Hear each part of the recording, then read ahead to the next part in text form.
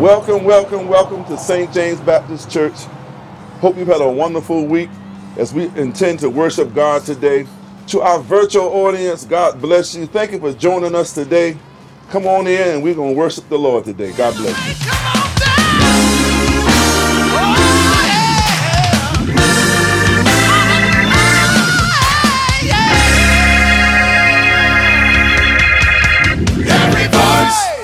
In the mountain of his holiness, for I was glad when they said unto me, Let us go into the house of the Lord, where thy feet shall stand within thy gates, O Jerusalem. Let's give God praise on today. Come on, second Sunday in the month of October. Amen. Gracious God our Father, we lift you up on today. We praise your name for this early morning rise. We thank you for last night's peaceful rest. God, you decided to smile on us one more day and bless us to be in the land of the living.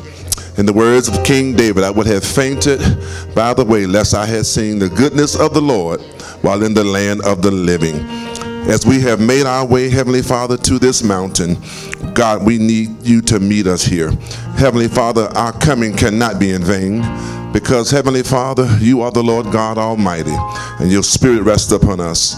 We ask, oh God, you would bless our worship service, God. Remove any impediments, anything that will keep us from worshiping you, mind, body, and spirit.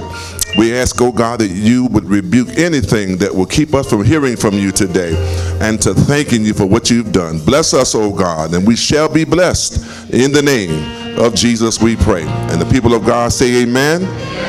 Come on, amen. Come on, let's praise them. Amen. Amen. Amen. Remain standing this morning. We will sing with our brothers this morning.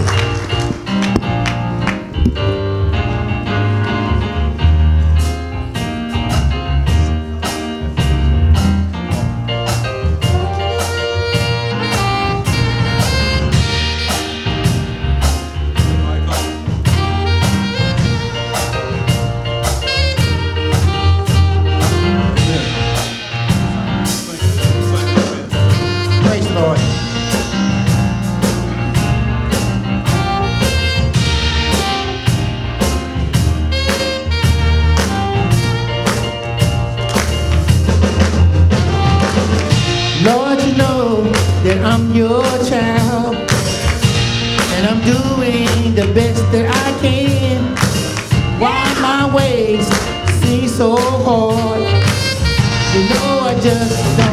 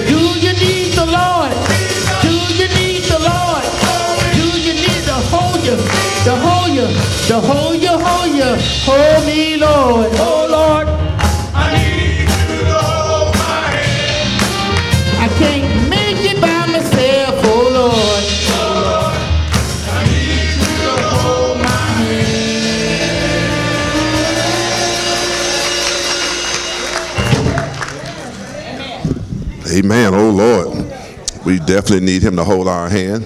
I'm sure that is the story, the witness of all of us this morning.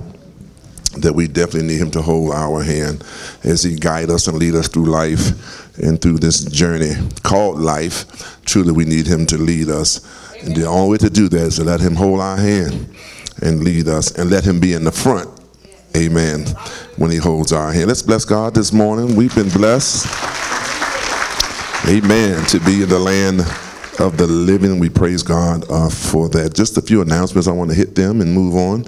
Uh, first, let me thank those persons yesterday who were able to go with us to Virginia of the last uh, couple of days. I want to thank uh, Mike for driving the bus. We had a wonderful, wonderful time.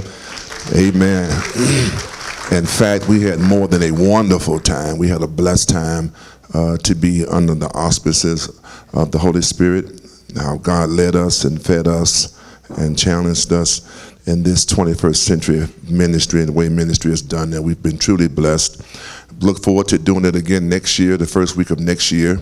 And we're going to get an early start, hopefully, and fill up more than just one bus, maybe two buses. Okay, all righty. Amen. We'll see. Amen. Again, we do thank all persons who went as well. Continue to keep uh, us in prayer as we do the will of God uh, during this season of, of, the church, and we are blessed uh, to do that. Also, uh, please be mindful on um, the uh, Friday, the October 20th is our church conference, which will be at 6.30 and not at 7. Normally we do it at 7, but it will be at 6.30 on the 20th, our quarterly church conference. Please attend. We ask that you would please do that. Again, thank you for coming out on Wednesday. Our reveal was Wednesday. Amen. Amen. We're almost there. Amen. We're almost there. A few tweaks and we're almost there. And we just want to thank you for coming out and be prepared to uh, hopefully come out one more time, just one more time. Amen. And we can we can move forward uh, with what God is waiting to uh, do uh, uh, with us. And we praise God for that. Um, I can tell you that God is, I'm going to say that in my sermon, but God is already ahead of us. Amen. We just, we got to, we got to play catch up, y'all. Amen. Amen. Also, Minister Tyrone is asking for snacks, uh, wholesome snacks without peanuts or peanut butter because of uh, allergy purposes uh, for our fall festival, which will take place on the 31st um, from 6 to 8. Persons of help, if you're willing to help and assist, that would be wonderful uh, as well. But please be mindful, you can bring snacks at any time. Just leave them here in the office, and we'll make sure uh, that he gets them. And continue to keep him uh, in prayer as well as he's a little under the weather. We want to continue to keep him in prayer as well. Also, um, as we prepare for uh, great things that are happening this month. This is a this is a busy month for us in most churches. Uh, the month of October, Clergy Appreciation Month, and we praise God uh, for that as well.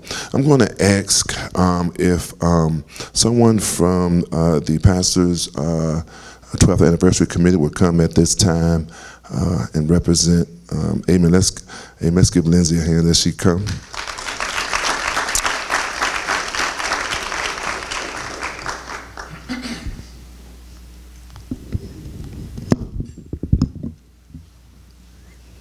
Morning, St. James family. Good morning.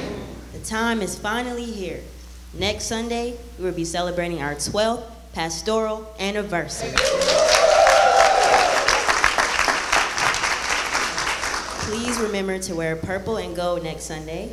Our theme is 12 years of ordered steps. Our scripture is The Lord makes firm the steps of the one who delights in him. Psalms 37 23. Also, please remember to prayerfully consider blessing our pastor and First Lady with $10 for each year that they have been with us. But please remember, all gifts are welcome. And you will personally have the opportunity to present them with love at the end of the worship service. Some ways to give include the special anniversary envelopes placed in your pews, again on Givelify, or if you're feeling extra tech savvy, again on Cash App. Thank you.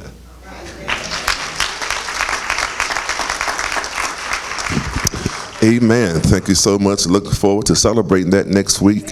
Um, our guest preacher next weekend will be uh, Pastor uh, Dr. Lee Winfrey. Uh, my brother and friend from Partakers Church. He's coming from Detroit, um, Michigan. As a matter of fact, um, they're so excited. Uh, all the way from Detroit, he's bringing people with him. Come on now. They're excited in Detroit, I know we can get excited here in Greensboro. Amen. But he's coming next week, and he has a couple of people that's coming with him. I think about maybe about nine or ten people coming with him. Uh, and they, they came last time, they, and they are excited to come back. And so we pray that we will definitely show them some great hospitality as they are excited uh, to come and celebrate with my wife and I in 12 years. 12 years went by fast. Amen. Went by fast. For me, it did. Amen. And went by real fast for me. Uh, amen. Amen. Amen. Y'all wake up this morning. What's wrong? I know it's cold outside, but no, I know y'all ain't cold. Amen. Amen. But praise God for the next weekend. We celebrate not only that, but the month of October is Clergy Appreciation Month. Let me tell you this if you don't know. The least of celebrated people, believe it or not, the least of celebrated people, the least are clergy. The most stressful of people is clergy. Amen. Come on, talk to me, y'all. If you have persons in your family who are clergy, they walk with God, they talk with God, they're doing the Lord's work, praying for people, preaching to people, visiting the sick, counseling them, being with them in their hard times, in their celebrative times. Celebrate them. They don't have to be a pastor. The fact that they are a minister, a preacher, male or female, amen, celebrate them. Maybe they are a chaplain in an institution, um, a military chaplain or institutional chaplain uh, at, at, a hospital or something. Amen. I, that's a hard work. I know chaplains, amen, and hospital chaplains is a is a this day and time is a busy work, amen. amen. Celebrate them, do something kind, amen, for them, something out of the ordinary that you normally would not do. Do it, do it for them, bless them, and I guarantee you, you will be blessed back when you do this, amen, amen. Um, Jesus said, if you so much give his prophet some water, amen, uh, you will be blessed. And so we ask that you would celebrate them, do things, take them out. Uh, to eat in some nice places, amen. Um, if you don't want to take them out to eat, um, I can come talk to me after church. I can tell you uh, what what uh, gift cards to get them, amen, that they may enjoy themselves. Buy them a suit or something or a necktie to go with the suit and a shirt and some shoes.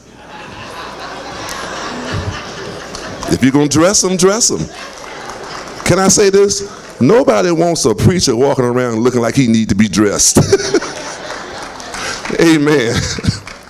Amen. But just, you know, just please do something wonderful. Do something kind for them. Amen.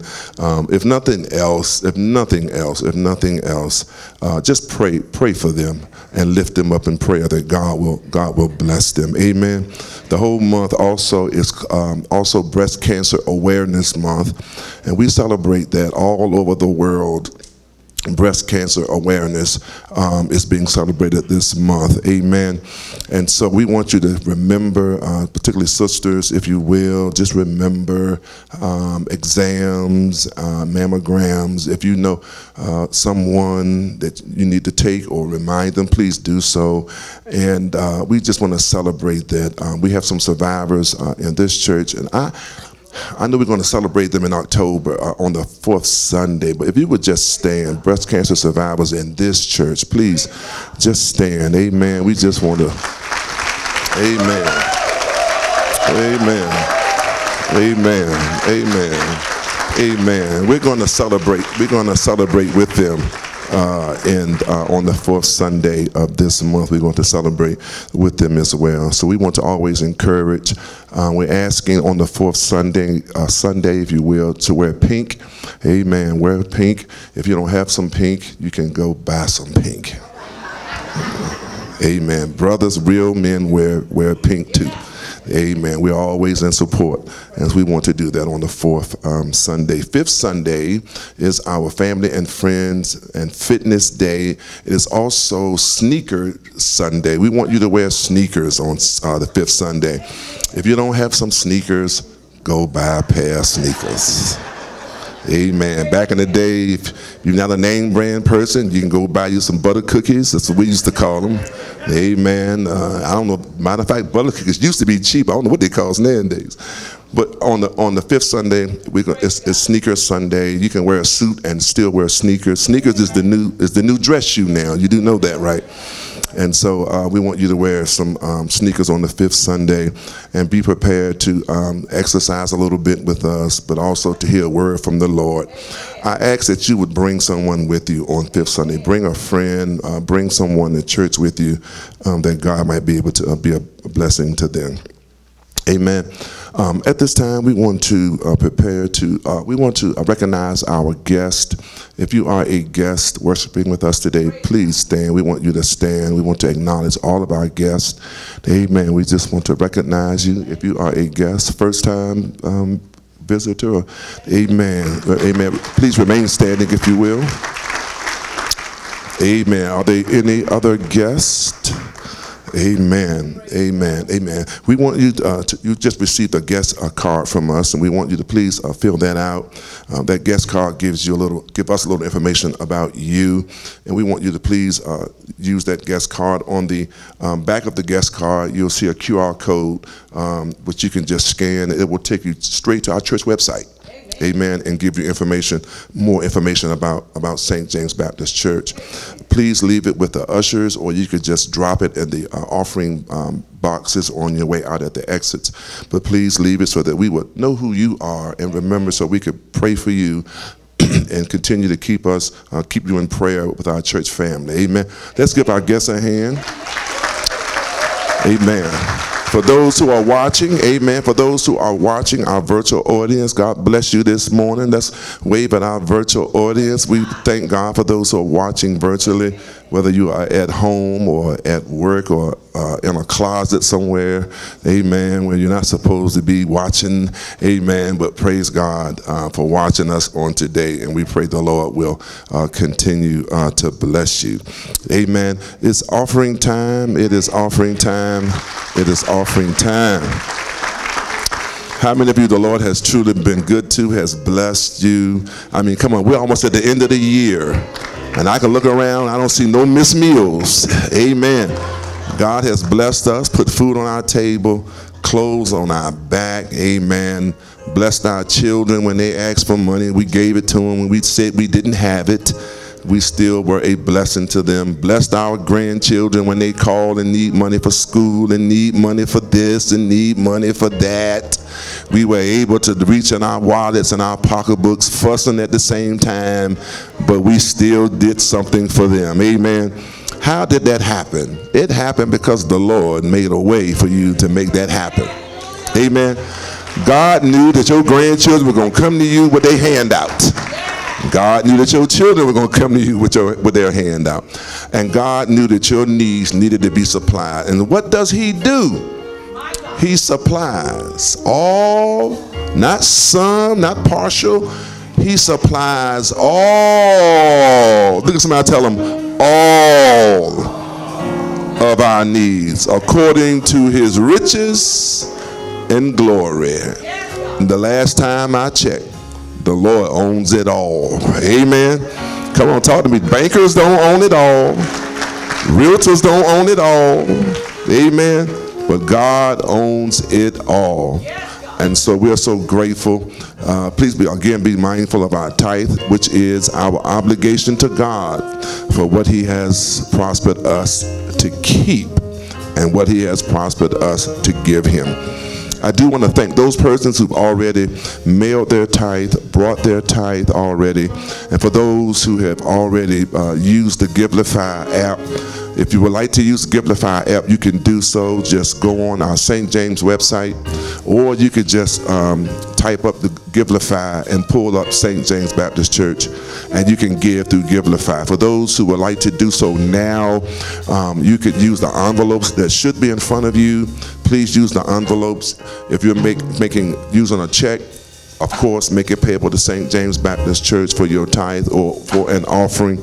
You could use so as well.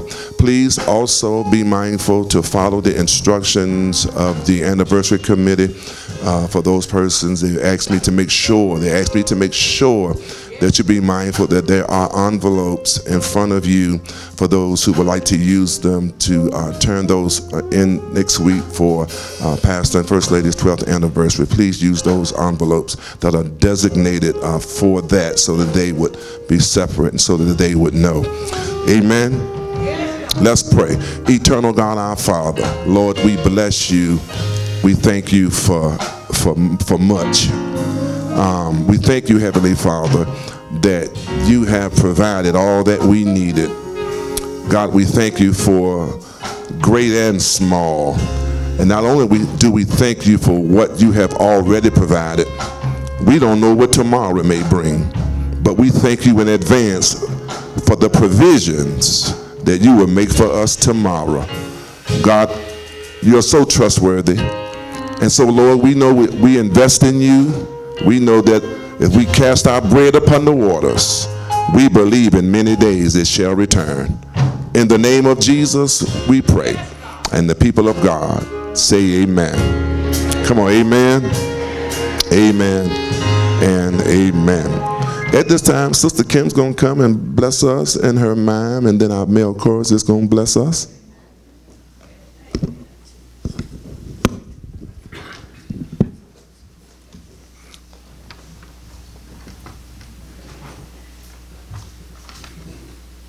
This song says, God's mercy kept me. So I wouldn't let go. Anybody in here ever felt like giving up? Just throwing in the towel, just giving up. I'm not going to ask you to hunch anybody, but just look at them. That person you're looking at is here tonight only because of God's mercy and His grace. Somebody ought to just tell God, thank you for your mercy and your grace that kept me.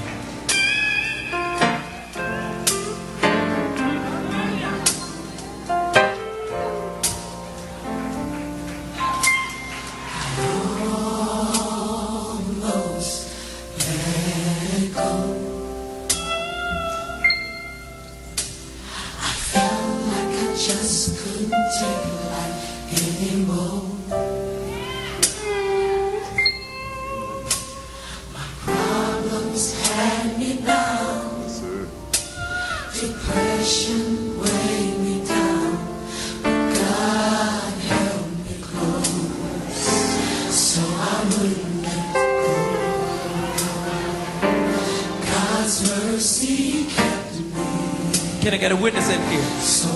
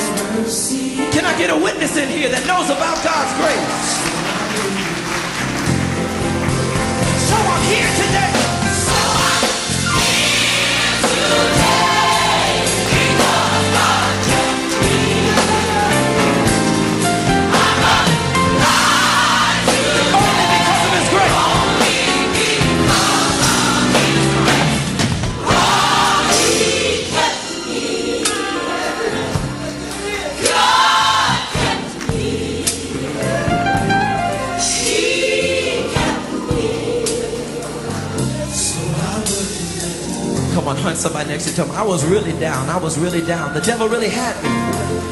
But God's mercy kept me. I'm here tonight because of God's mercy. Come on now, just thank him. Just thank him.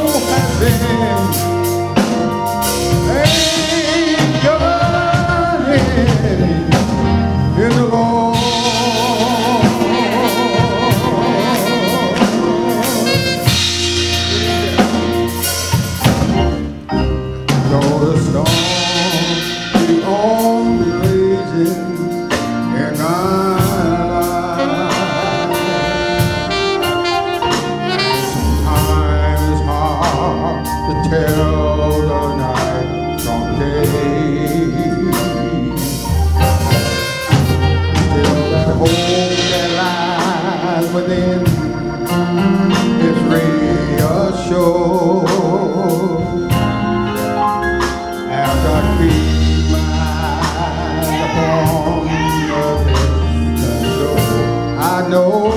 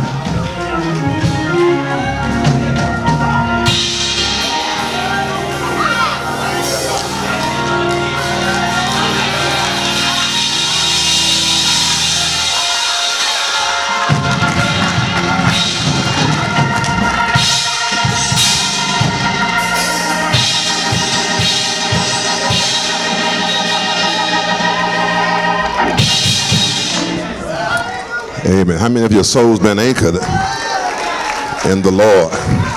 Come on, let's praise him this morning. Come on, let's lift him up. If your soul is not anchored, I tell you, you will be tossed and driven by the angry sea of time. Amen. But how many of your soul is anchored in the Lord? Hallelujah. Amen.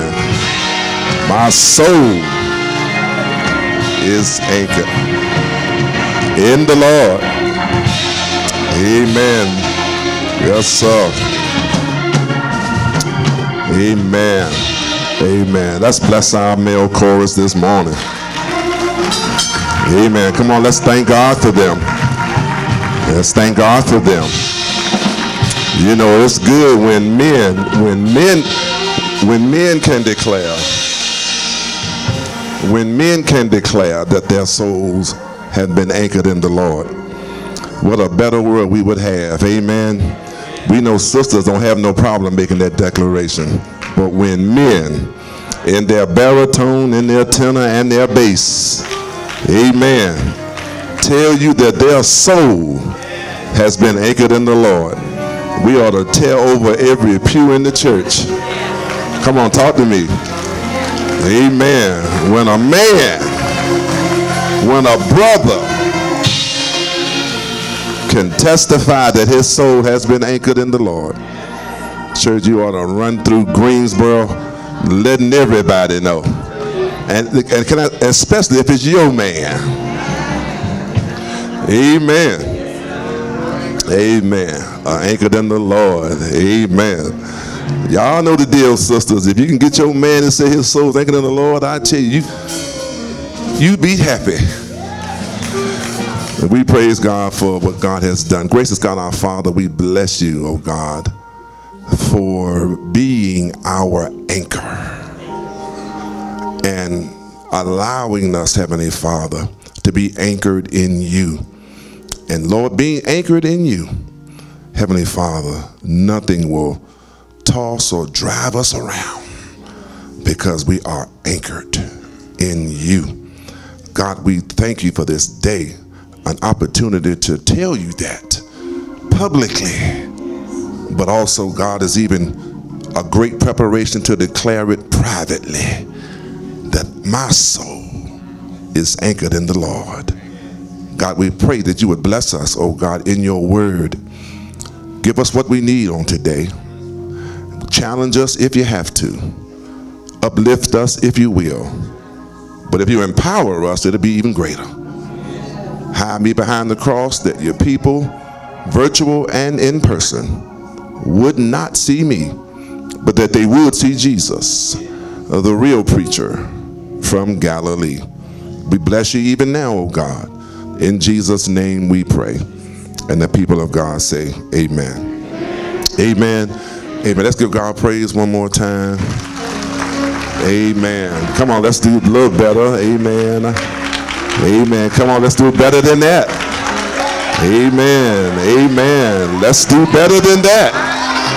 Amen. Come on. Amen. Hallelujah. A- yes, sir. Amen. Amen. We we learned a new term yesterday, y'all. Amen. When they say fire in the hole, amen. Amen. Fire in the hole. That mean that mean get get ready. God's get ready to blow up some stuff. Amen. Amen. And we praise God for what God has done. Amen. I don't amen. Don't get me started. So uh Exodus chapter 14. Exodus chapter 14. Amen. And I did not forget birthdays. I'll, I'll do that at the end. Amen. But for those who are celebrating birthdays and anniversaries, um, amen. We'll do that at the end of the service. Exodus chapter 14. Exodus chapter 14. Uh, Exodus chapter 14. If you have it, say amen. Amen. If you need some help, ask the person beside you. They they know exactly where it is. Exodus 14.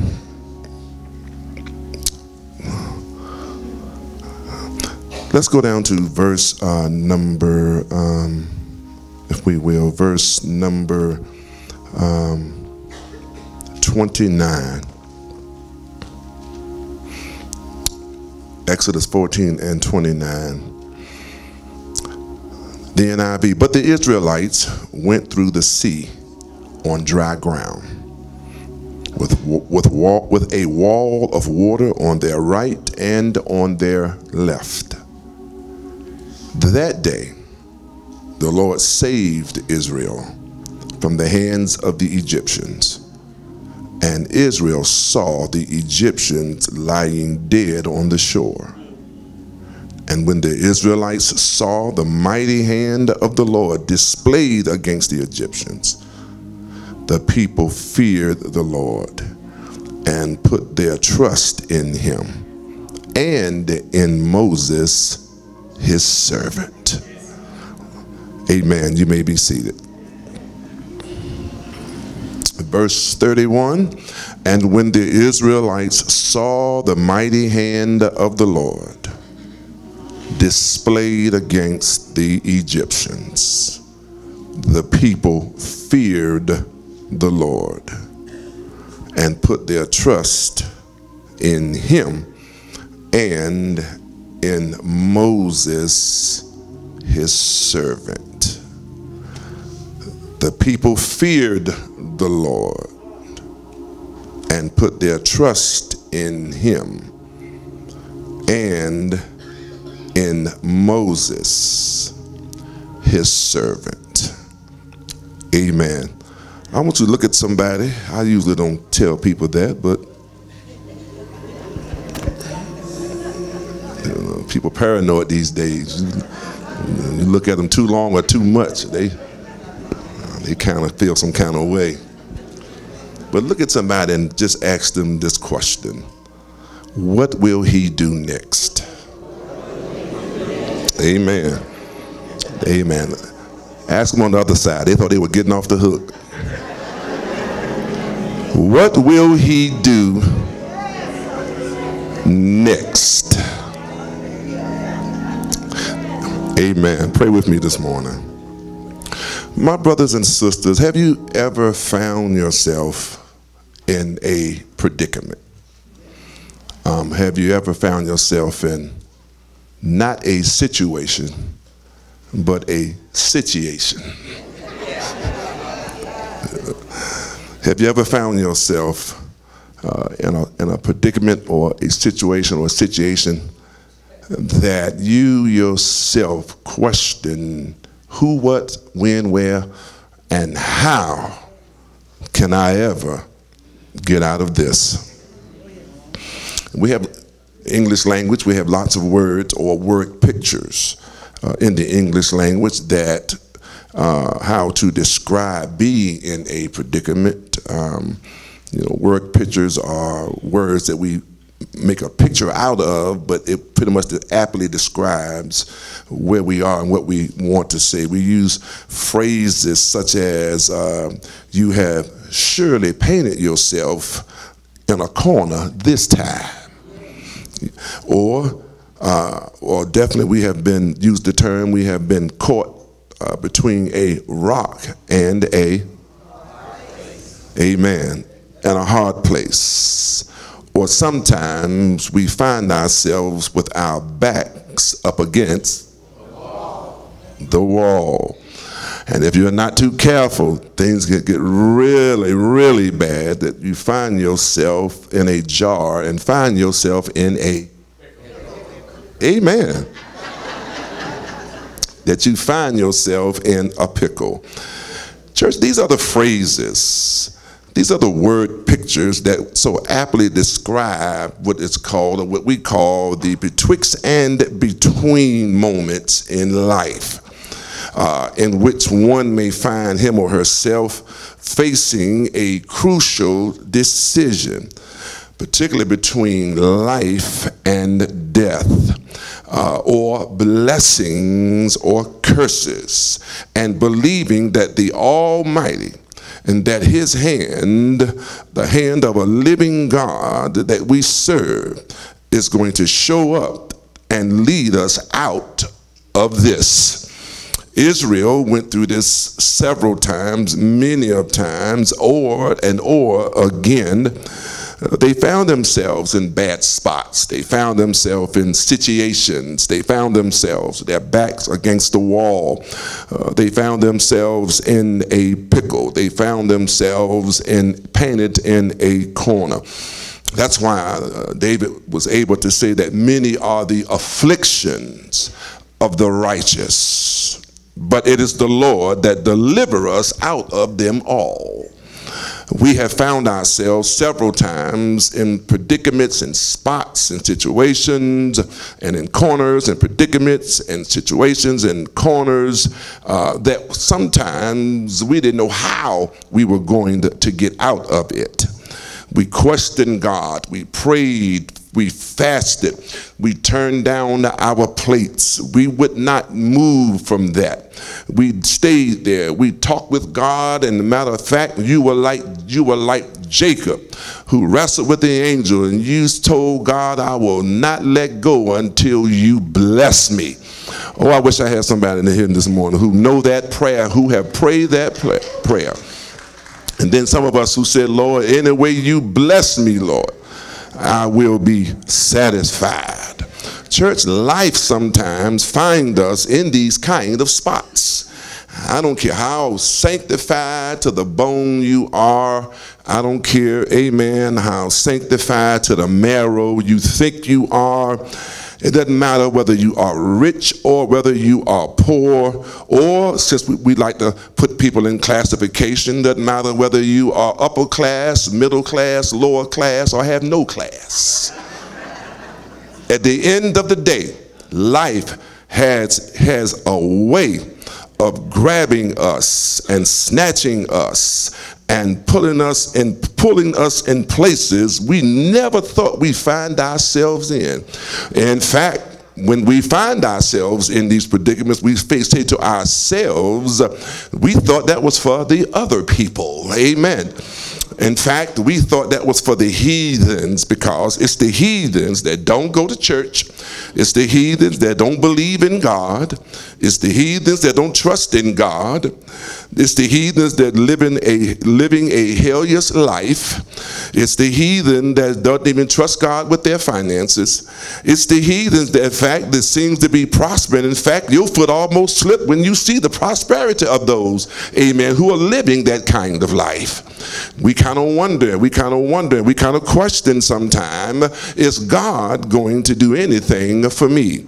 I know maybe I'm preaching to the choir, maybe I'm preaching to myself, but there have been times in my walk with God that as a Christian man, amen, not, not just a preacher here, I'm talking about a Christian man because number one, uh, I, was, I was a Christian, I was a sinner before I was a Christian, and before I, amen, I was a, a Christian before I, I was a sinner before I was a Christian, and I was a Christian before I was a preacher, and I was a preacher before I was a pastor. That's my story. I wasn't born, amen, with a halo over my head and wings on my back. Amen. In sin did Sandra Yvonne Lee birth me. And so, but God, in all of us sometimes, find ourselves in some spots that we don't believe as children, as husbands, as fathers, as sons and daughters and sisters and brothers of God do not believe which should, we should be in. And how do we get out of situations like that? How, what do we do? I know we don't believe it can happen, but it can happen. Matter of fact, that's why the word reminds us listen, celebrate God today. Take no thought for tomorrow, y'all, because tomorrow will take care of itself. Tomorrow has its own frustrations. Amen. Doors will get slammed in your face on tomorrow. They might be open today, but tomorrow they'll be closed and you can't go through those doors tomorrow. Amen. The freedom you have today, amen, that, that could be abolished on on tomorrow, something could happen on tomorrow that will set your whole course a total different route than what you anticipated and what you had prayed would happen and what you didn't think would happen. And about of all the people in the world, you didn't ever think it would happen to you. Israel found themselves in this predicament. This was after their freedom, after their deliverance, that God had blessed them to come out of Egypt uh, for, for out of 450 years of making bricks for somebody else working on somebody else's projects, somebody else benefiting from their labor and their work. They didn't own anything, they didn't have anything. What they owned and what they have, here it is. Somebody had to give it to them. And remember, always remember this, always remember this, always remember this. Whatever somebody give you, somebody can take it from you. Oh, we don't like to hear that. Amen. Amen. Your house is only yours for 30 days, maybe, maybe, maybe 60.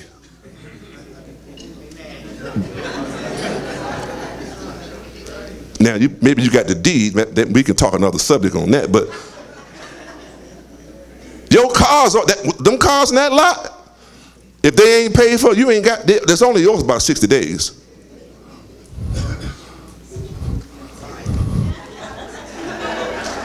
All right. Missed two payments.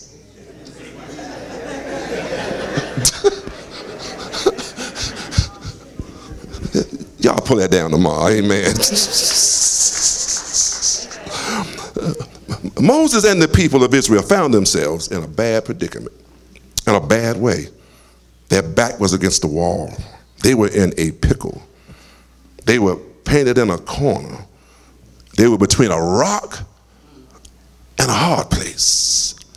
The Israelites found themselves trapped between Pharaoh's army and the Red Sea, which represents an impediment that's in the way of their freedom on the other side. God had blessed them. God had delivered them. They had prayed. They had prayed. They had cried. They had prayed and cried, cried and prayed that God would deliver them. And finally, God hears their cry and sends them a deliverer. God always sends a deliverer before he delivers. You'll pull that down later. Somebody has to lead them out. And God chose Moses to be that man. He leads them out. He leads them out after several attempts, Cynthia, to Pharaoh, pleading with Pharaoh, talking with Pharaoh, trying, amen, to extend an olive branch, as we would say on both sides of the aisle trying his best, talking to Pharaoh, telling him what thus said the Lord, what God said and what God wants and what God needs, trying to get Pharaoh to let God's people go. I, I, I mean, thank God he wasn't the Speaker of the House because he probably would have. But, anyway, so he pleads with him, and yet Pharaoh's heart gets harder and harder and harder and harder. You know, the more you try to compromise with people, you know, sometimes, the, if I can say this, you know, the most aggravated, the, the most crazy they become. And finally, it took the hand of God to, and, and death, uh, to move on Pharaoh's heart that he would free the people of Israel and let them go.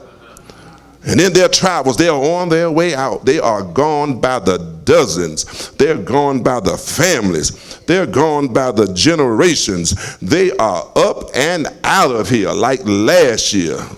They were gone. They were on their way. We'll see you later. We are sick of this place. You have held us back long enough. And we've got to recover, not just recover, they've got to recover generationally not just from those persons who were there to be free, because remember, for generations they had nothing. And so all of what wealth they had, all that was gone. So now they got to recover from generational wealth. They got to recover from generational curses. They got to recover from a, gener- a generational uh, mindset. They got to recover from so much. It's not just about being free. It's about recovering from all of what the generations has uh, uh, had to have suffered from. And you know, I remember when I was in seminary, one of the things my professor, uh, one of our professors, uh, Dean Kenny, uh, told us in systematic theology was that he told us that remember, he says, when you preach in your pulpit on Sunday mornings, you got to remember, you ain't just preaching to the people you sitting there looking at. He says, matter of fact, you're not preaching to them. Listen to me, y'all. He says, you're preaching through them. Because you got to hit the stuff they got from their mama and their daddy. And then you got to hit the stuff that they got from their mama and their daddy. And then you got to hit the stuff they got from their mama and their daddy. Pretty much tradition follows all the way down the line up into the people who are sitting and looking at me. You have some ways you got from your mama and your daddy. You got some ways that they, you got from your mama's mama and their daddy. And so forth. And it continues. So when the preacher stands on Sunday morning, he ain't just preaching at you. He's not preaching to you. He's preaching through you, trying to hit those spots and things inside of you that God wants to remove that you inherited and you don't know you got it. Oh, come on, talk to me. I feel like preaching today now. And so now Moses catches this hard time. He catches this hard time because now the people are out. They got what they wanted. They got what they prayed for. They got what they cried for. They got freedom.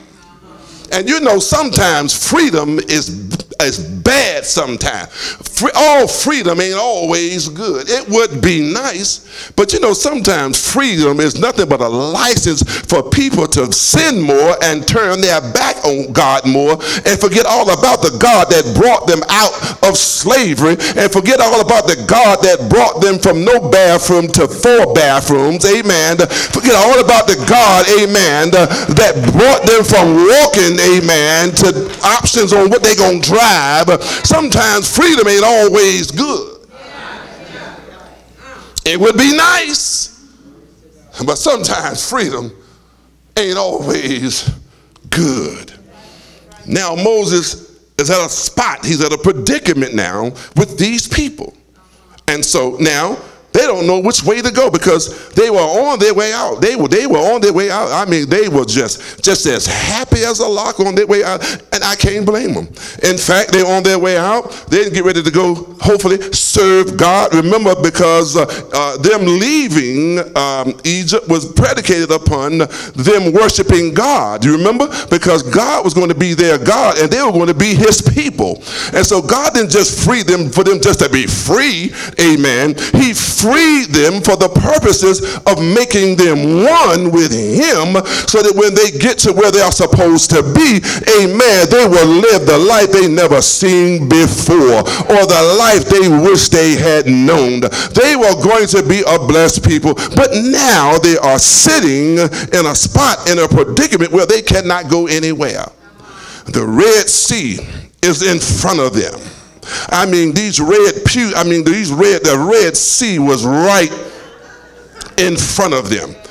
On the other side, on the other side was their freedom. Their freedom is where God really wanted to take them. On the other side was their blessing. On the other side was everything God was promising to them that they were going to do. But in front of them was a, a liquid impediment called the Red Sea. Now, of course, they're scratching their heads and flaking their dandruff, wondering, now, how are we going to get across over there? And while they're sitting there trying to figure it out, they hear a grumbling and a rumbling on the ground floor. They think it's an earthquake. They don't know what's going on. They look and see the dust clouds behind them, only to find out it was the army of Pharaoh. Pharaoh had a change of mind. First, he said it was okay. Amen. You know, people can be fickle when they want to be. Amen. I mean, they'll smile at you today, and then tomorrow they'll frown. They'll ask you how you're doing today. Tomorrow they'll ask you what you're looking at. fickle. Raise your hand if you know some fickle people. They spoke to you this morning, didn't they? Watch next Sunday. Good morning. Yeah. How you doing? What you say? Hey, I just said, how you doing? he, he decides, uh-uh, I'm going after these people. I got, uh-uh, because I'm going to lose out. They've been making bricks without straw for me. They've been making bricks. All the, when I look back and look at all this empire behind me that they have built, I didn't have to. It, it was it was their labor that got us all of this. I didn't have to do a thing. And when I start thinking about all of that service, I'm going to be missing out on. Oh no, we're going to get them right now. And their backs are against the wall. They don't know what to do. They begin to challenge their leader Moses. Moses, look at you. You done brought us out here to die. Was there not enough graves in graves in Egypt that you had to bring us out here to die like this? At least when we were back in Egypt, we had leeks and melons and onions, not realizing everything they named gave them gas. Amen. Uh, they, they, they could care less. And so now they up on Moses there and they're challenging him and they're questioning him and they're badgering him. But yet at the same time, they are paranoid and don't know what to do. And then finally, it was Moses who cried to God. And God, Moses, stop crying, Moses. Stop crying. Stop whining. Hey, man, you ain't going to be no leader and whine. What's that you got in your hand, Moses? You got something in your hand uh, that will work. And Moses had in his hand a stick. Amen that he held up. And when he held it up, it was God who worked through him to part that Red Sea, that liquid impediment, and allowed them to make it on the other side.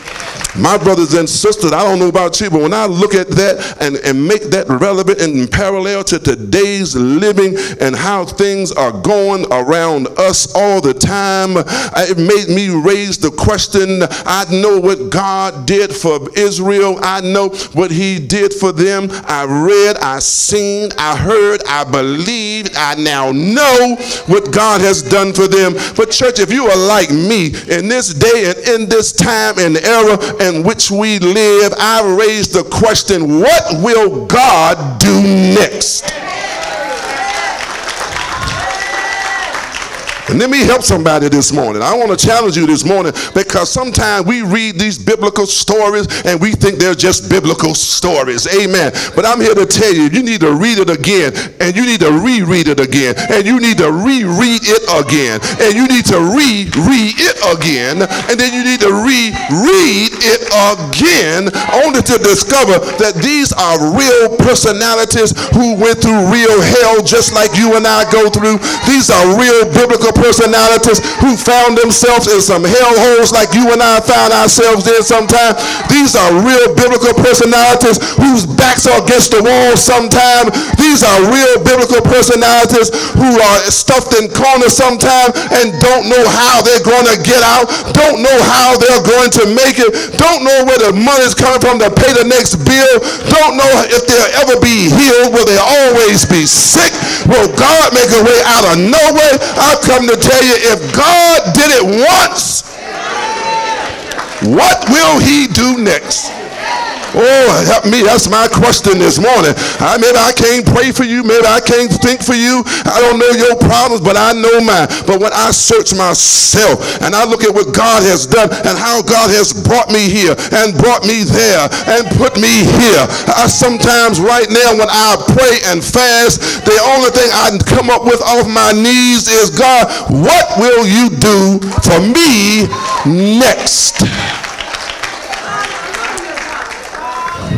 That's that, that's that's the question. That's the question, uh, and that's the relevant question I want to ask somebody this morning. The relevant question for you and for me that we may have proposed is, what will God do next? What will He do next? Now that He has brought me out of my Egypt, what will He do next? Now that He has removed some of my negative influences, what will He do next now that both of my feet are planted in a new season in my life. Come on, talk to me, somebody. But this is a new season. You do know that, don't you? This is a new season in your life because let me tell you some life, hear me, life as it is now post COVID is not like it was as life as it was pre-COVID. Pre-COVID is another world. Pre that them pre-COVID days are gone. Now somebody tell them pre-COVID days are gone. Those days are gone. Those days are gone. And we live on the other side of COVID. Well, you say, Pastor, how can I live on the other side of COVID when there's a new variant just came out and I'm debating whether to get that shot or not. Amen, somebody. I can't tell you whether to get it or not, but I can tell you this. You are right. You are living on another side of COVID. But here it is. The blessing is, here's where the impediment comes in, is that God brought you through COVID. Look at somebody tell them, you got to remember that. That's one impediment you have crossed. Well, Pastor, how do you know? Because I didn't bury none of y'all. That's how I know. Amen, somebody. I didn't do your funeral stretched out cross here. I didn't do it at the funeral home. I didn't do it at the graveside. I didn't do it right here. The fact that you can pitch yourself, amen. Come on, talk to me. Baby, you are a survivor. Now, you may have caught COVID, but that's all right. You still here. Come on, talk to me, somebody. You are still living. You are still breathing. Your heart is still palpitating. The blood is still running warm in your veins. Your tongue is not stuck into the roof of your mouth. You are alive. You can wave your hand, move your fingers. Honey, you can shout for joy.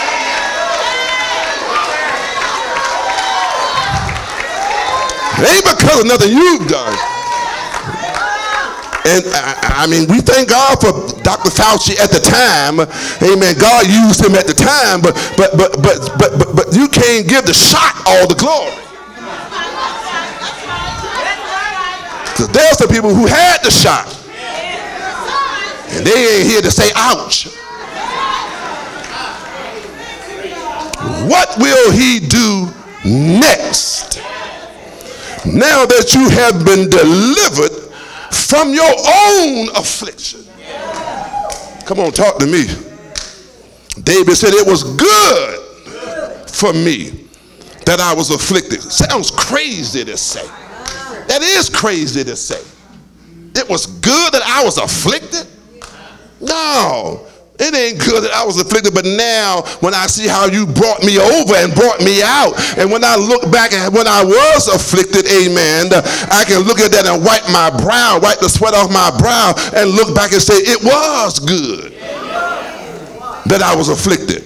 It was good that I went through this. It was good that I had to deal with them. It was good I had to that I, I had to submit to them. It was good, but it was good they had when they had control. I can say that now, but I couldn't say that then. I, it was good that they was the, they were the puppet master. Amen. It was good when the door was closed in my face. It was good when my windows were shut and I didn't see any blessings coming my way. When the Lord told me, amen, that he to open the windows of heaven and pour me out so much blessing that I cannot receive. There was a time in my life, if I could testify, I don't mean no harm, I thought all my windows were shut. My God, maybe you ain't never been there. Amen. You got it like that. Amen. I ain't got it like that. Amen. Somebody. But I serve a God who has it all like that. And yes, he will remember me. He will remember you when you walk by faith and not by sight. Sometimes when those afflictions come, you don't know how to handle them. But when God gets you through those afflictions and you are on the other side, Honey, that's shouting time. What will he do next? Woo. Now that I believe that he is the rewarder, and that he is the rewarder of those who diligently seek him, what will he do next? Now that he has revealed himself to me. See, you got to internalize and personalize this thing. Now that he has revealed himself to you, that's the question I want to know. God, what will you do next? Now that we had, since, ooh, I did, thank you, Jesus. Now that, now, now that we've had a reveal,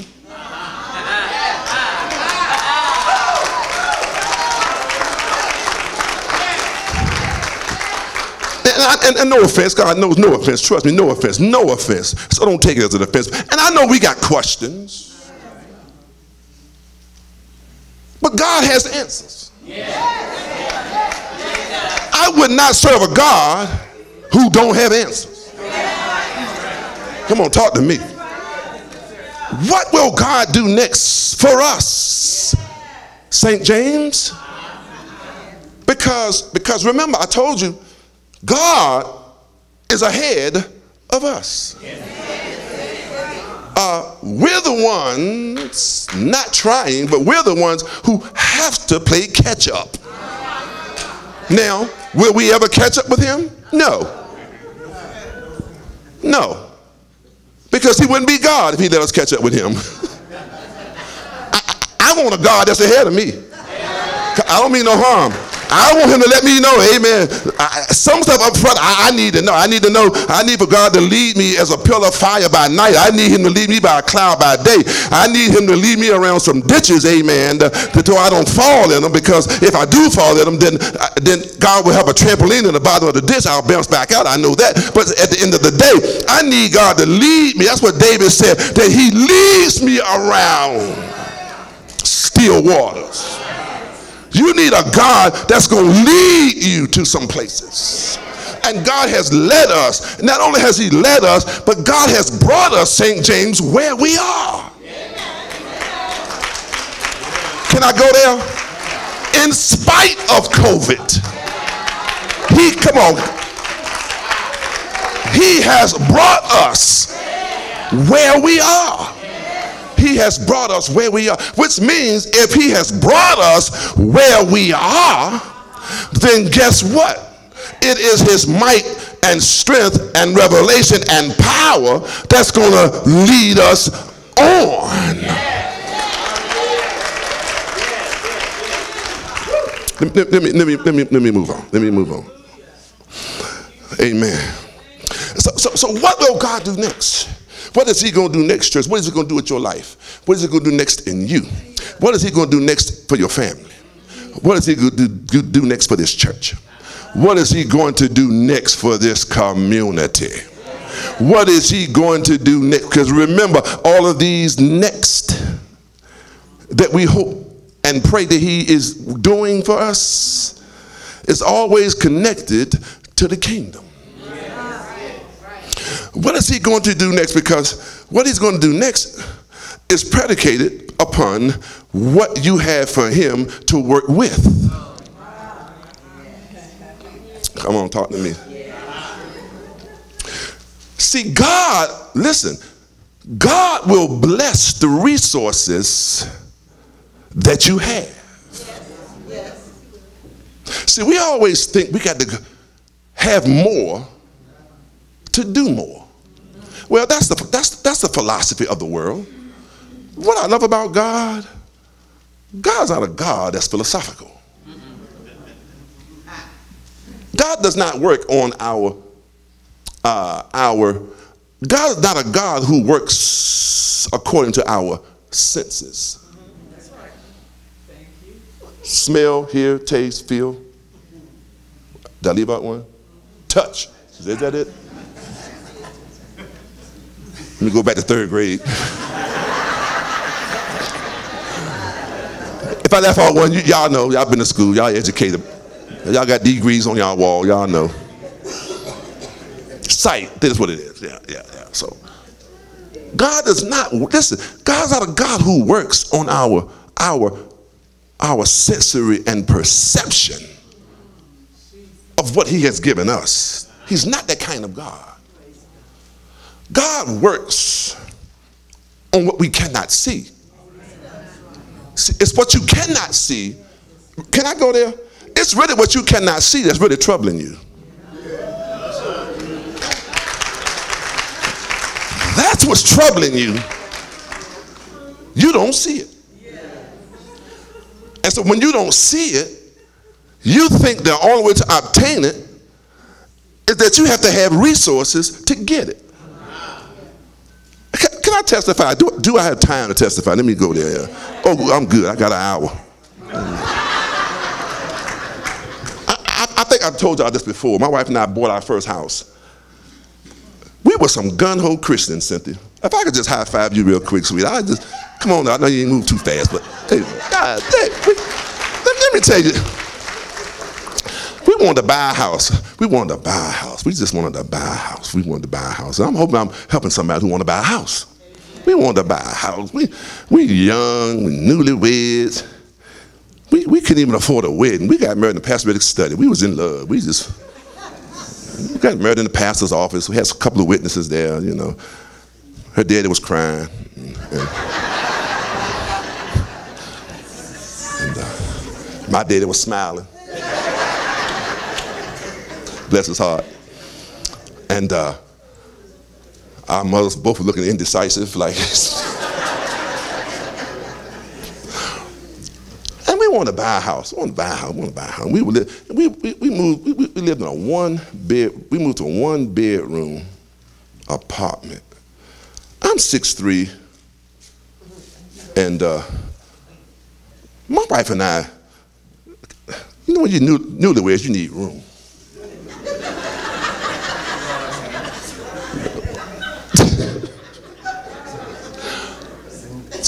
10 one bedroom apartment, I'm in a little bathroom, you go around the corner and you're in the kitchen. I was like, man, this ain't this. We, we. But we, the intention, hear me, the intentions was we deliberately moved there so we could save money and buy our first house. And so the saving money didn't work. we, we didn't have no money to save.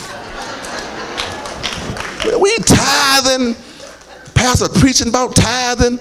We new converse in the Lord. We learning about tithing. I ain't used to tithing. I'm like some of y'all. I came from out the world. I believe in hitting numbers, amen, and getting lucky. We tithing, ain't seeing nothing. I'm we tithing and we tithing. I got paid, she got paid. We cut our tithe. The first thing we did was cut our tithe out of there. We ain't doing nothing. And, and, and, I'm going to Bible study every Wednesday, and I'm singing in the choir, and my wife doing her ministry at the church, and, and, and, and we just, we would check our savings, and we ain't had no savings. I'm like, we can't buy no house like this. Then my job opened up. I had plenty of overtime. I was a heavy equipment operator, so I, overtime was not the problem. But the overtime was always on my Bible study Wednesday. I ain't, come on, talk to me. I, I, I, I ain't even missing my Bible study just to make some money. Then I talked to my co-workers, and they, they knew I was trying to buy a house. Well, you ain't gonna ever buy no house if you don't work some overtime. You need to work some overtime. You need to come in on Wednesday. You need to work this. You need to come in on Saturday. Work double time on Sunday. I ain't doing all that. I ain't doing all of that. Well, I don't know how you're gonna come up with the money because you need to put at least about ten thousand dollars down on your house. That's the only way you're gonna get that house. And, and, and so, make a long story short, and a short story shorter. We, we, we found a house. We had been looking, we didn't find anything. One day I just was on my job working and I saw this nice brick rancher, and man, I said, you know what? Boom. I said, this is the house right here. My wife is gonna like this house right here. I mean, it was, it was a nice house. And so I showed it to her. We went and looked at it. And so we went and looked at the house. The realtor took us back to her to her office. And uh, she said, "So y'all want? Yeah, we want. We interested. We want the house." Oh, she filling out papers, boy. She was silent once she said she was filling papers out. Oh man, she was filling them out. Blah blah blah blah blah. And she oh, and then finally she goes, "Okay, so you're gonna need to put uh, X amount of dollars down." And uh, I said, "We ain't got no money." and then, she stopped, she put a pen on the table, she stopped immediately. Like we were wasting her time. She said, she said, she said, uh, so y'all, don't have no money. I say, man, we ain't got no money to put down no house. She said, well, how you gonna get this house if you ain't got no money?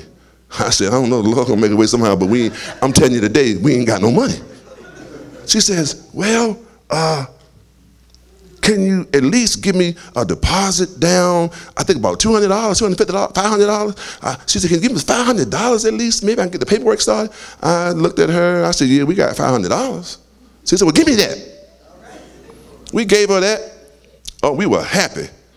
We get back home, there's a message on the answer machine from her uh, that we need to put down more than where her figures were. I was like, oh, God, that's, I, I, I you know, I said, said, that's the Lord right there. You know, I'm all spiritual. I'm, I'm, I'm the priest of the house. I said, that's the Lord right there. You know, the Lord telling us that ain't our house. That ain't our house. And so finally I go to my father, who I know had it. I said, Dad, I can have some money put down on the house. You know, I'll give it back, yada, yada, yada. My dad said, Jerome Jr., I do have it, but where I have it at, I can't touch it. I'm going to get penalized, yada, yada, yada. Can't you find a cheaper house? I said, well, Dad, we want that house. But anyway, to close the deal, make a long story short, at the end of the day, we didn't know who was selling the house. We never met the people. And finally, we did meet the people. Only to find out that the people went to our church. And they were like, I didn't know y'all were the ones trying to buy this house. We was like, yeah. She said, do y'all want this house? We was like, yeah, we want this house.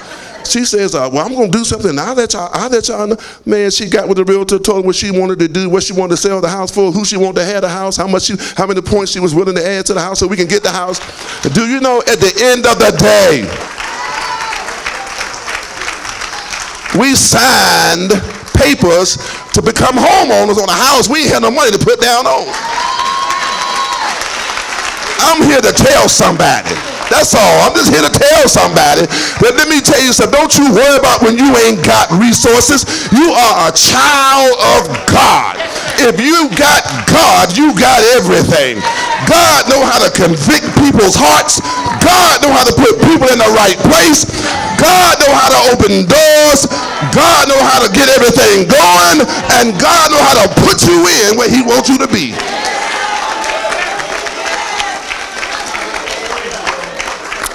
Give me, give me about five, but five more minutes. Five more minutes. Five more minutes.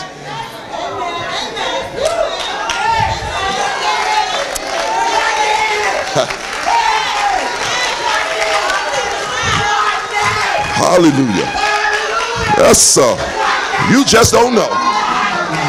You just don't know. Yes, sir. You just don't know. Oh, look at somebody tell them you don't know. I hope I'm helping somebody, baby. Go get that house. Don't worry about you ain't got no money. Don't let people tell you gotta have, you gotta have. If you got God, honey, you got everything. No weapon formed against you. Can I ask this question? Are we gonna build this church or what?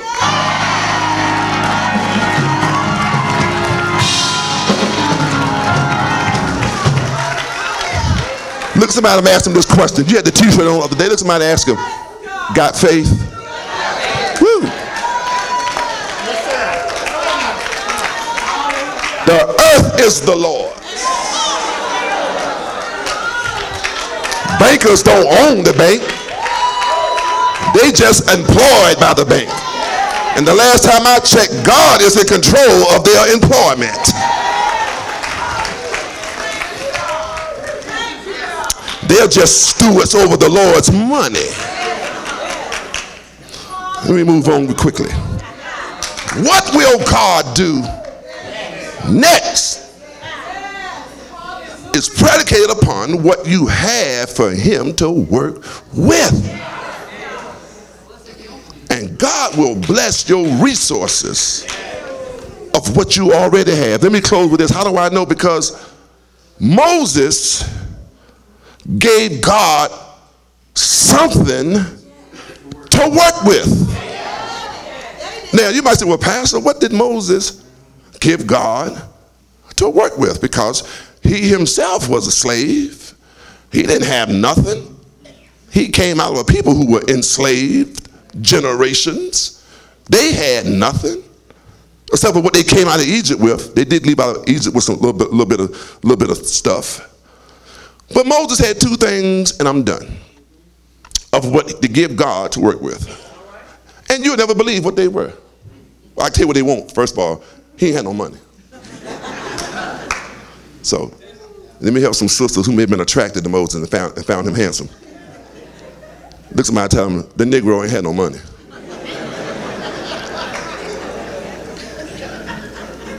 He ain't had no money. He ain't had no money. He had no nice suits to wear. He had dirty, dusty feet. He ain't had nothing. And let me tell you this he definitely did not have any degrees. Now he was raised, well, that was Joseph. He didn't have much, didn't have nothing, but what he had, he gave it to God, and God used it. Right? If you want to write these down, just these, these two things I'm telling you what he had. I'm not even going to really preach it because I'm not. Moses had two things that work with. He had he had a stick and he had a stutter. That was all Moses had to work with. A stick. Look at somebody tell him a stick and a stutter.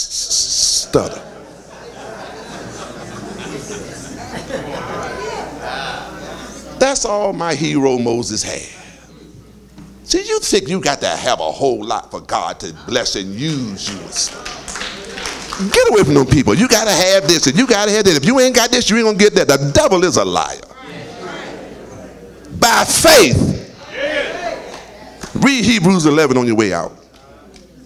Moses, all he had was a stick and a stutter, signifying two things. The stutter signified his imperfection. The, uh, the, the stick signifying his weakness. Because remember, by this time, Moses was old. Let me help some seniors. Don't ever think you're too old for God to use you to do something great for him. Oh, you might be gray, amen, somebody. I'm, I'm getting there. I was, my hair was black when I came here, but. But that's because you are old. Don't ever believe I'm too old, Pastor. You know, I used to be able to do this. Well, a pound cake for the pastor this month. I mean, I'm just joking about that. Don't. You are not too. Let me tell you when it's too late to do anything for God when you dead. You ain't got to have a whole. God knows your strength. He knows your weakness. He knows your age. He knows your limitations. He knows your arthritis. He knows you don't have multiple back surgeries. He understands uh, that you are humped over. He gets it. He understands that he is the God who made you. But don't ever think that you are insignificant. Don't ever think that you don't have anything to bless God with. He, this stick was not just a rod for Moses to carry around. Moses, amen, was using that stick, amen, to help his equilibrium, to help balance his one step from the next step to the next step. Moses was, oh, but God still I said, I'm going to use him. I'm going to bless him. I know he's a man that stutter. I know that stick represents his weakness. But Moses, what I'm going to do for you next is you better hold that rod up in your hand, Moses. What is that in your hand? Moses, I know that stick is holding you up, but I want you to take that stick and hold it up and watch what God does next. And God blessed him. And God blessed him to get to the other side. And whenever God blesses you to get to the other side, you owe God a pre-praise. Do I have a witness in here? Let me close. You owe God every bit that you can give God. Because the God we serve is a God who makes ways out of no ways. Do I have a witness in here? He is a God that every step you take, he's with you. He is a God who can open doors you've been trying to open by yourself. He is a God who hears your faintest cry. He is a God that lets you know everything will be all right. Is there anybody here this morning who know that God is all right? Is there anybody here this morning? Don't fool me now. Who know the Lord is all right? Come on, is he all right, church? Is he all right, church? Come on, can he open doors for you? Can he bless your life? Can he open doors out of make ways out of no way? Has he been there for you? You ought to bless him and give him the glory. Ask him, what will you do next for us? Let us stand all over the church. One of the things I believe God want to do next, I really believe that God want to, God want to change your life. My brother, my sister, I don't know who I'm talking to, but I believe God want to change your life. what God is doing next in your life, you just can't even imagine. He wants to bless you. He wants to save. He wants to start by saving your soul. Because all souls, he says, are mine. Let's start there. If you've never accepted Christ as Lord and Savior, this is a wonderful time to come and do that. Wonderful time. Come, bring your family, and say, look, we we gonna serve the Lord. Or are you gonna serve the gods of them on the other side of the flood? The Egyptians. Or are you gonna serve the one triune God on this side of the Red Sea? It's either or. It's not no walking in between. We got enough of that going on in America and in the church. Make up your mind whom you will serve the God of the Egyptians, of the God of stick and stuff, the God of Moses. Why don't you come? My brother, my sister, why don't you come? Amen. Amen. Is there, if there's none, amen. My brother, amen. God bless you. Amen. God bless you. Amen. So, uh, amen. Amen. Amen. Somebody come here with them. God bless you. Amen. Is there another? Amen. Amen. Let's give God praise for the one. We praise God. Amen. Amen. We're going to close in prayer. As we close in prayer, let us remember we lost one of our one of our members this morning, one of our one of our matriarchs of the church. Amen. Mother, uh, our, our mother uh, Dorothy Thomas, Amen, has transitioned to be with the Lord, and so we want to pray for that family until arrangements are made. Reverend Moses had prayer, uh, had surgery. We want to pray for him. Minister Tyrone's under the weather. We want to pray for him and others that may not be in my mind but in my heart. Gracious God, our Father, we bless you. We thank you, O Lord, for all that you've done and do. Oh God, you've just blessed us. You've just helped us in so many ways. God, sometimes we won't even know it until after the benediction how much you've helped us today. Heavenly Father, we know, God, we raised the question. We know you've done other stuff. We know you've done other things for other people. But Lord, the question becomes, what will you do next for us? And what will you do next for me? Oh God, we ask, oh God, that we will learn to put our trust in you. That we will learn, Heavenly Father, to put all of our trust in you, not some, but all of our total weight. We have to lean and depend on you. You are an invisible God. You do stuff, Heavenly Father, that baffles scientists and psychologists and philosophers. For Lord God, we said, your word reminds us, God, that God, you are a God who baffles everybody. Lord, we thank you, O Lord. You said in your word it is the you take the simple things of the world to confound the wise. Oh Lord, we are just finite creatures. We don't know it all and we don't have it all. But you are infinite. You are a God who has it all and know it all. You move when you want to move. You rule and you super rule. God, you are God all by yourself. And God, there is none like you. And we are grateful that we are on your side. And we are grateful, even more grateful, that you are always on our side. For you are always on the side of the oppressed. Oh God, we thank you for being a God of the oppressed. God, we ask, oh God, that you will continue to bless and hear our cry. We, we need things done that only you can get done. Oh God, you are God. You are a God. You are God, Heavenly Father.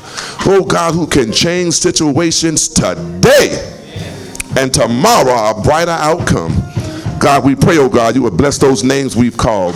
Uh, bless the Thomas family, oh God. Uh, one of the sweetest women, ladies, mothers we know. God, may she rest. May she rest in your bosom forever. In transition, God, bless that family right now. We pray for those who have been sick, those who have had surgeries, those who are still recovering from their surgeries and their illnesses. Strengthen them, O God, on every hand in the name of Jesus. God, I pray your hand upon St. James Baptist Church, O God, as their Moses, as their, as their liberator, as their leader. So as you was with Moses, so shall you will be with me. I ask, O God, your blessings upon everyone who's under the sound of my voice, those who are watching virtually, O God. May your spirit empower power enter into their homes, transition their homes. Yes, their back may be against the wall, they may be in a pickle, they may be in a corner, and they may be indecisive on how to get out of it, but God make a way out of no way. God, God, let, let them use what they have. Let them lift that stick up. Let them stutter. Whatever they have, God, use it, God, to get them to their next plateau. We give you glory in advance. We shout the victory right now. We lift up our hands and say, Hallelujah, it is so. In the name of Jesus, we pray. And the people of God say, Amen. Amen and amen. Amen. Before we leave, we- we're probably off the air by now, but let me at least acknowledge birthdays. Anybody have birthday this month? Birthdays this month, Daphne. Amen. And birthdays. Any wedding anniversaries in the month of October? Any wedding anniversaries? Any wedding anniversaries? Amen, brother Jess. Any wedding anniversaries? Anybody get married in October? Amen. Anybody signing divorce papers in October? Anybody sign? Amen. Happy birthday. Happy anniversary to you.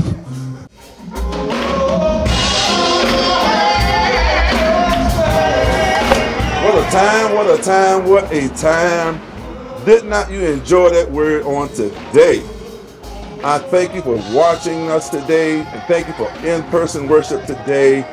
Please don't forget to join us 7 o'clock Tuesday, 12 o'clock Wednesday for our Bible study. And I pray you've had a wonderful week. Join us again. God bless you. Have a wonderful day.